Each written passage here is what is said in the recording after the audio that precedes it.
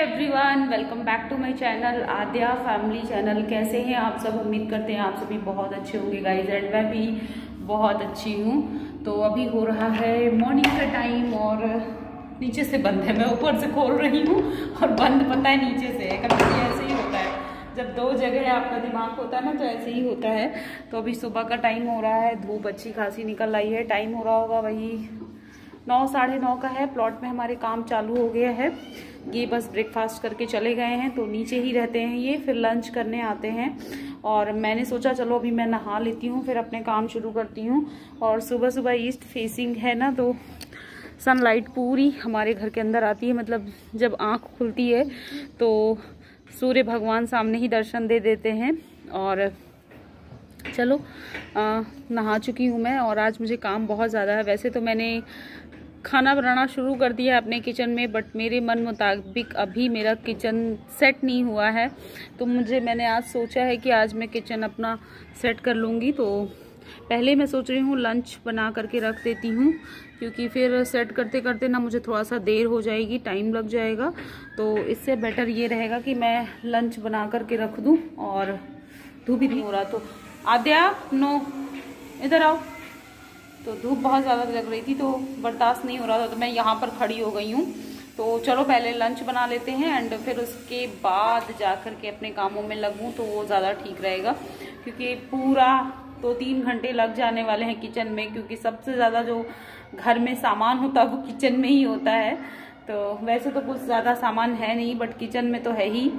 तो चलो फिर लगते हैं और चलो अभी चलते हैं अंदर। और ये देखो। लाइट की ज़रूरत नहीं है, फिर भी लाइट ऑन करके रखी हुई है इन्होंने।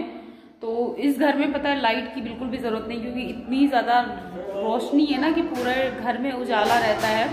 और स्पेशली सुबह के टाइम तो पूरे घर में ही उजाला रहता है। तो बिल्कुल भी लाइट जलाने की ज़रूरत नहीं, फिर भी ये लाइट ऑन करके चले जाते हैं। और आद्या ना नीचे जाने के लिए परेशान है, क्योंकि नीचे जो भाभी जी हैं उनके छोटे छोटे बच्चे हैं तो अक्षर तो भाग गया है बट आद्या को मैं अकेले नहीं भेज सकती क्योंकि इसको देखना पड़ता है। तो ये अभी मैं इसको भेजने के मूड में नहीं हूँ, लेकिन ये लड़की ना एकदम रेडी है जाने के लिए। देखो गेट पे ही खड़ी हुई है। चलो, आज मैं बनाने वाली हूँ चने की दाल। तो चने की दाल बनाने के लिए मैंने यहाँ पर कुकर लिया हुआ है। कुकर में मैंने मस्टर्ड ऑयल डाल दिया है और मस्टर्ड ऑयल डालने के बाद यहाँ पे मैं जीरा लूँगी, थोड़ी सी हींग लूँगी और थोड़ी सी लहसुन डाल दूँगी तो उसका भी टेस्ट बहुत अच्छा आता है। और दाल मैंने धुल करके रख ली है, कटोरी में चने की दाल ली हुई है और उसके साथ टमाटर, प्याज सब कुछ लिया हुआ है। तो थोड़ा सा गर्म मसाला भी डाल दो ना तो बहुत अच्छा सा टेस्ट आता है। तो बस ऑयल ऑयल अच्छे से गर्म हो जाएगा, उसमें मैंने जीरा डाल दिया है और उसके बाद मैं इसमें प्याज भी डाल दूँगी। जीरा है, हरी मिर्च है, हींग है और प्याज डाल देंगे तो प्याज भी अच्छे से पक जाएगी और उसके बाद जब प्याज का कलर चेंज हो जाएगा, ब्राउन कलर हो जाएगा तो उसके बाद लास्ट में मैं इसमें टमाटर डाल दूँगी और टमाटर डालने के बाद थोड़ी देर तक इसको अच्छे से पकने देंगे और दाल फिर उसमें मैं डाल दूँगी। इस तरीके से मैं दाल जो मैंने धुल के रखी हुई है उसको डाल देंगे और इसमें थोड़े से मसाले डाल करके ही चने की दाल बनती है। तो इसमें बेसिकली जो मेन इंग्रेडिएंट है वो गरम मसाला है। गरम मसाला डाल करके ज़रूर चने चने की दाल बनाएँ, बहुत टेस्टी बनती है। और मैंने साथ में वड़ी भी डाला हुआ है, जो वड़ी होती है उड़द की दाल की। वही मैंने डाला हुआ, उससे बहुत अच्छा दाल का टेस्ट आ जाता है और हमारे यहाँ चने की दाल ऐसे ही बनाई जाती है।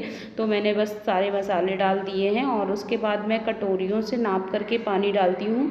और कटोरियों से नापने से क्या होता है ना, अपना पानी कभी दाल में कम होता है ना ज़्यादा होता है, एकदम परफेक्ट पानी दाल में होता है। तो दाल ना बहुत गाढ़ी होती है और ना बहुत पतली होती तो देख सकते हो लास्ट में सॉल्ट ऐड कर देंगे और कुकर को बंद कर देंगे और पाँच छः सीटी आने तक पकने देंगे। उसके बाद यहाँ पर मैं सब्ज़ी छौंकने जा रही हूँ। तो सब्ज़ी मैंने आलू और गोभी कट कर लिया है और मैंने बस ऑयल डाला हुआ है मस्टर्ड ऑयल उसके बाद अदरक, लहसुन, हरी मिर्च का पेस्ट मैंने इस तरीके से दरदरा पीस लिया था। उसको डाल देंगे और उसके बाद गोभी डाल देंगे और थोड़ी देर तक गोभी को फ्राई करेंगे और सूखी सब्ज़ी मैं बनाऊँगी, इसकी रस वाली नहीं बनाऊँगी क्योंकि दाल मैंने ऑलरेडी बना रखी है। तो दाल के साथ सूखी सब्ज़ी ही अच्छी लगती है और इसको अच्छे से पकने देंगे, बस उसके बाद आलू डाल करके सिंपली सारे मसाले थोड़े थोड़े डाल देंगे। धनिया पाउडर, हल्दी पाउडर, गरम मसाला पाउडर, लाल मिर्च पाउडर थोड़ा थोड़ा सब डालेंगे। बहुत ज़्यादा स्पाइसी सब्ज़ी नहीं बनाऊँगी मैं। जब मैं इस तरीके से फ्राइड दाल या मसाले वाली दाल बनाती हूँ ना तो सब्ज़ी फिर मैं बहुत ज़्यादा स्पाइसी नहीं बनाती हूँ। बिल्कुल कम मसाले यूज़ करके और मैंने चने भी डाल दिए हैं क्योंकि चने जो है वो मैंने भिगो के रखे हुए थे तो थोड़े से इन्होंने नाश्ते में खा लिया था और थोड़े से बचे हुए थे तो इनको किसी भी सब्ज़ी में चना बहुत ज़्यादा पसंद आता है तो बस मैंने डाल दिया है, एक मुट्ठी ही बचे हुए थे तो बस डाल दिया है और ढक दूँगी सब्ज़ी को और पाँच से सात मिनट में धीमी आँच में ये सब्ज़ी मेरी पक करके रेडी हो जाएगी। तो इसके बाद अभी मुझे बहुत सारा काम है और यहाँ पर आने के बाद दो, चार छः दिन तो एडजस्ट होने में ही लगता है, सब कुछ समझने में, सारी चीज़ों को समझने में, बच्चों को इन्वायरमेंट में ढलने में थोड़ा सा टाइम लगता है, यहाँ के इन्वायरमेंट में। चलो, अभी आधा लंच मैंने बना लिया है और रोटी और चावल बनाना है, जो मैं बाद में करूँगी। रख दिया है और सीटी भी आ गई है और चावल अभी नहीं बनाऊँगी, चावल तो गरम गरम ही बनाऊँगी और सब्ज़ी जो है वो मैंने छोंक दी है, आटा भी, का डो भी नहीं बनाया, थोड़ी देर में बना लूँगी। और यहाँ पे ना एक चिड़िया बार बार आके विंडो पे बैठ जा रही थी, बड़ा अच्छा लग रहा था। और अब मैं बस लग जाती हूँ अपने कामों में। ये देखो ये देखो, वो बार, बिल्डिंग में जो है बार बार आके बैठ जा रही है और ऐसा लग रहा है जैसे, पता नहीं कैसे अंदर आ गई है, शायद ऊपर छत का दरवाज़ा खुला हुआ है, इसी वजह से आ गई तो अभी मैं अब लगने वाली हूँ किचन में, क्योंकि आज मैं इसको अच्छे से सेट करने वाली ऑर्गेनाइज करने वाली हूँ। तो चलो, फिर सो so, यहाँ पे मैंने किचन क्लीनिंग स्टार्ट कर दी है और सबसे पहले मैं सारे डिब्बों को नीचे उतारूँगी क्योंकि मैंने हड़बड़ी में ही सारे डिब्बों को ऐसे ही रख दिया था अलमारी में और पहले मैं अच्छे से उसको साफ़ करूँगी, क्योंकि सफ़ाई तो हुई थी बट बहुत ज़्यादा डस्ट जमी रहती है तो अभी मैं गीले कपड़े से पहले सारे डिब्बों को नीचे उतारने के बाद अच्छे से अलमारी को साफ़ करूँगी, पोंछूँगी तो जिससे गीले कपड़े में ही सारी डस्ट चिपक जाएगी और अच्छे से साफ़ हो जाएगा। उसके बाद फिर मैं इसमें पेपर बिछाऊँगी एंड पेपर बिछाने के बाद फिर मैं सारे डिब्बों में सामान भरूँगी, क्योंकि बहुत सारा जो किराना स्टोर का सामान रखा हुआ है, ऐसे ही ही पॉलीथीन। पॉलीथीन में थैलों में भर के रखा हुआ है। उनको सबको मैं डिब्बों में भर करके ऑर्गेनाइज करूँगी।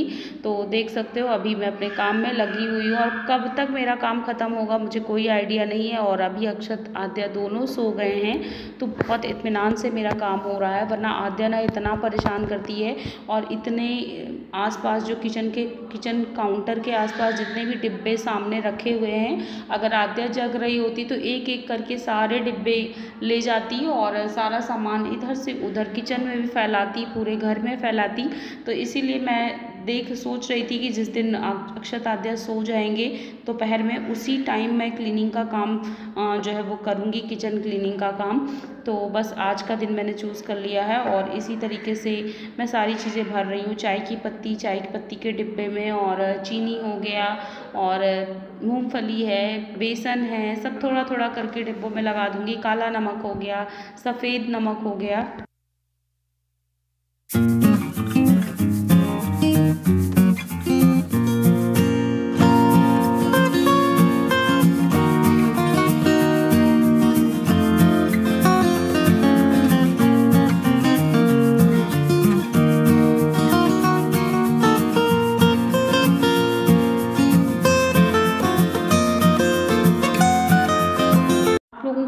सारे कमेंट आ रहे हैं, बहुत सारे क्वेश्चंस आ रहे हैं कि आप लखनऊ क्यों शिफ्ट हुए हो? आपका बनारस से ट्रांसफ़र हो गया है क्या? तो मैं आपको बता देती हूँ कि जी नहीं, अभी हमारा कोई ट्रांसफ़र नहीं हुआ है। हम लोग लखनऊ आए हुए हैं और किसी ज़रूरी काम से आगे, आए हुए हैं तो हम अभी आगे आपके साथ शेयर करेंगे कि वो ज़रूरी काम क्या है। तो जिसकी वजह से हमें यहाँ शिफ्ट करना पड़ा, यहाँ पर आना पड़ा है। तो अभी देख सकते हो, पूरा किचन मेरा मैसी मैसी सा हो रखा है। आद्या अभी सो कर के जग गई है और इसकी हलचलना शुरू हो गई और मेरा काम अभी तक ख़त्म नहीं हुआ है। बहुत ही परेशान करती है। तो अभी बीच बीच में मुझे आद्या को भी देखना पड़ रहा है। तो अभी ऑलमोस्ट मैंने ऊपर का सारा सेट कर दिया है और अब अच्छे से मैं किचन काउंटर को यहाँ पर क्लीन कर रही हूँ और साफ़ सुथरा किचन ना बहुत ही सुंदर लगता है। तो मैं आज आपको अपना किचन का होम टूर भी कराऊँगी कि कहाँ पर मैंने क्या चीज़ें रखी हुई हैं और किस तरीके से ऑर्गेनाइज़ किया है। बिल्कुल सिंपल तरीके से और बहुत सारा सामान नहीं है मेरे किचन में, लेकिन जो कुछ भी है उसको मैंने सही से रखा हुआ है, सही से सजा करके रखा हुआ है।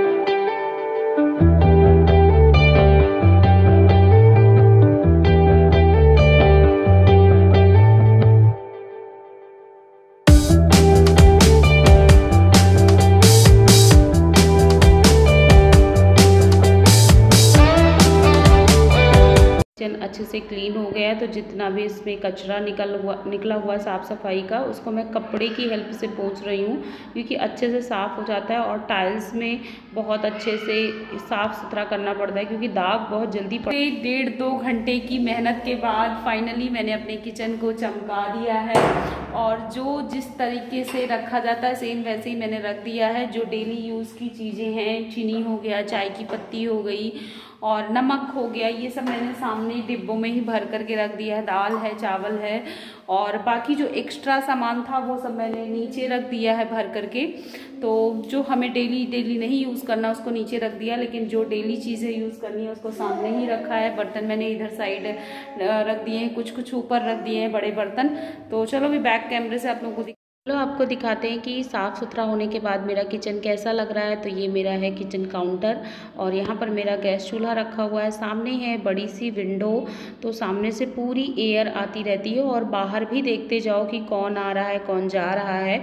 तो ये कुछ इस तरीके से हमारा किचन काउंटर है, चारों तरफ़ इस तरीके से बना हुआ है। इधर साइड बर्तन वॉश करने के लिए बना हुआ सिंक लगा हुआ है और नीचे मैं एक्स्ट्रा सामान रख, रखे हुए हूँ। तो अभी जैसे जो कुछ आया है तो नीचे वैसे ही रखा हुआ है। ऊपर मैंने अपनी ज़रूरत की सारी चीज़ें सेट कर ली हैं, ऑर्गेनाइज कर ली हैं। तो देख सकते हो कुछ इस तरीके से सिंक लगा हुआ है, डबल वाला है। तो काफ़ी अच्छा है, एक बर्तन मांझ के रखते जाओ और दूसरे में वॉश करते जाओ तो आसानी से काम हो जाता है। और ये नीचे का एरिया है, यहाँ पे मैंने एक्स्ट्रा सामान सब कुछ रख दिया है। ऊपर सारे डिब्बे वगैरह ऑर्गेनाइज करके रख दिए हैं तो देख सकते हो। और कुछ क्रॉकरी का सामान है जो मैंने स्टोर रूम में रख दिया है। और कुछ क्रॉकरी मैंने किचन में रखी हुई है मैं कई बार बोल चुकी हूँ और ये है सब्ज़ी स्टैंड तो सब्ज़ी रखने के लिए यहाँ पे मैंने स्टैंड रख लिया। चलो, अभी मैं वीडियो को एंड करती हूँ। पसंद आया हो तो लाइक करिएगा फैमिली फ्रेंड्स में शेयर करिएगा और मेरे चैनल पर न्यू हैं तो सब्सक्राइब कर दीजिएगा विद बेलाइकन एंड मिलूँगी अपने नेक्स्ट ब्लॉग में। तब तक के लिए bye bye and thanks for watching